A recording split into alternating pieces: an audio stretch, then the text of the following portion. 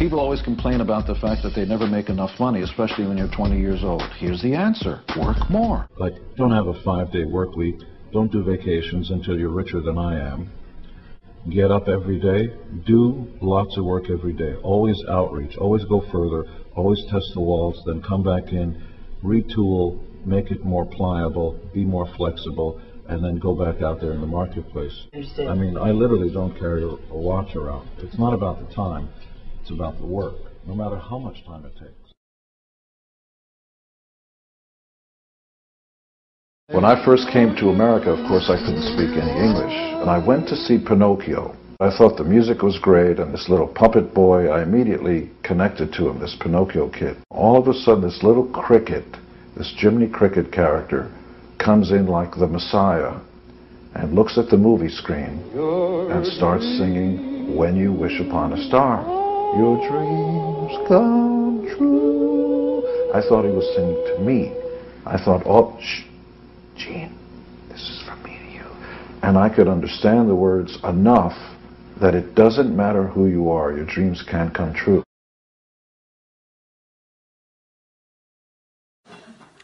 Because you want inspiration, look to your mother. You bet. Don't listen to the self-help gurus and the people stuff, even though I get paid a lot of money to do this stuff myself. Turn around and look at your mom. That's the most inspiration. That's the reason you should go out there and strive. I remember the first $10 million check I ever made, and it came in at one lump $10 million check, and I gave it to my mother, and I said, Mom, look, because, you know, I want my mom to be really proud. And she said in her broken English, wait, hold on a second. And she said in her broken English, uh, wonderful, because she, that's, you know, she's Hungarian. Wonderful. Tikanis. Kala. That's Greek. Uh, wonderful. Now what are you going to do? That's precisely the point. You did well. Now go on. If you're the fastest human being on the face of the planet, when all the cameras leave and when the girls stop kissing you and you put the award away, are you going to get up the next morning when, when the sun is just coming up and all by yourself try to break your own record, even though you're the fastest on earth? The idea is, shouldn't life be about striving? There is no such a thing as winning. There's only doing better than you did before. Because once you give up, you're just waiting to die. I invented this baby. Whenever you go to any sports team, everything's going on anywhere around in Zimbabwe, they'll go like this, or they'll go like this, or they'll go like this, but they'll always stick their tongue out. And, and the story behind that is, in the early 70s, 1870s, of course, uh, we noticed that the, that the fans and the audience, before they even know who we were, were going nuts and they were sort of waving. And I was playing. Paul was too into himself, you know. You know, look at my hairy chest, I'm so good looking. I was just trying to see which one I was going to mount that night. the girls. And so I wanted to wave back, but I couldn't, see, because I had a pick in one hand and playing bass in the other. So I'd hold on to the pick and I'd wave, see, over here holding the pick, and you go like that. And they started doing that back. And then I have a marketing company that, that is fast becoming the, the most famous one on planet Earth. And I mean that in the real way. We have uh, Gene Simmons Family Jewels, which is seen in 84 countries. We have a company called Simmons Abramson Marketing. And Simmons Abramson Marketing, I'm the Simmons of the Abramson. We don't have offices. We hardly have staff. We have one guy who works for us, and yet we move mountains. We are the worldwide branding marketing entity of the IndyCar series, including the Indy 500. I'm the genius who thought of the I Am Indy campaign because I love the way I feel when I get behind the wheel. I am Indy. The guy who co-wrote the song with me is a Canadian named Bag, who was signed to my Simmons Records label prior. And uh, we also handled Find.com, lots of big stuff. And we also handled Frank's energy drink, Frank Stronach's energy drink.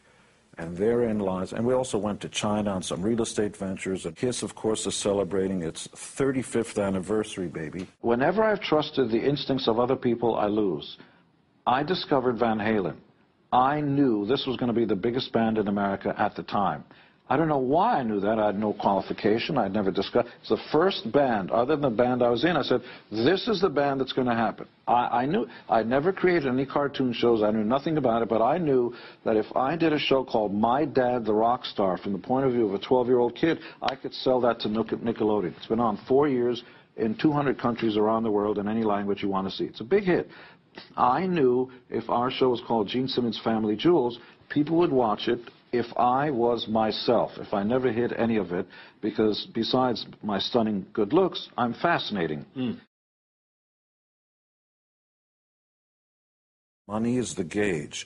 You're an athlete, here are the judges, you'll jump on your heel to do all this kind of stuff, and then when you're done, mm-hmm. judges hold up numbers. Well, it's not about numbers. Actually, it is. It's the gauge. It's, a, it's one gauge of how you do well in life. And it's a gauge for acceptance, in a sense. Well, it's a gauge for how the rest of them think you're doing because they're willing to give you their hard earned money for what you do. George, look at you. You're here, you're on television, you make a good salary, and the more people want you, the more money they're going to give you. It's a gauge. And it also means that ultimately all of us, politicians, religious leaders, talk show hosts, rock stars, all work for you.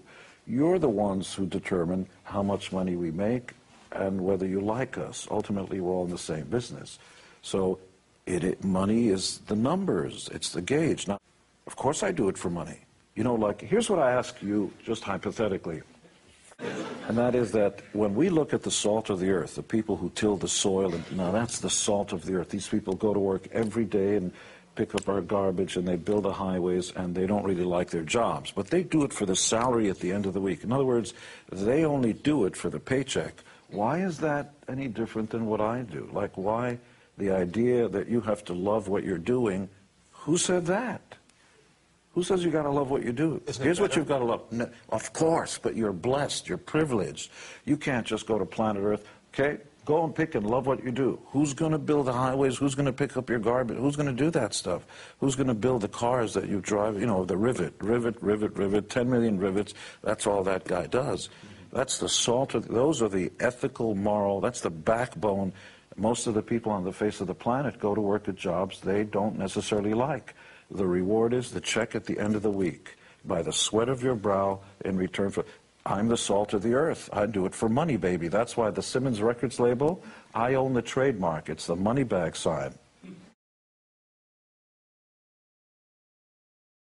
I know on one hand, I'm nowhere near as good looking as I think I am, but because I'm delusional about it, I'm fearless. I can talk without hemming and hawing. I can look at you and I can walk in. I'll walk in with Brad Pitt. I don't care who the guy is, much better looking than I am. I his girlfriend that night. It is that will, that strength that actually makes things happen. It's not whether or not you actually have the good. It starts with will. So in business, in in social circles, in anything else, it's this kind of first you need people skills, language skills, and other than that, the will of a giant.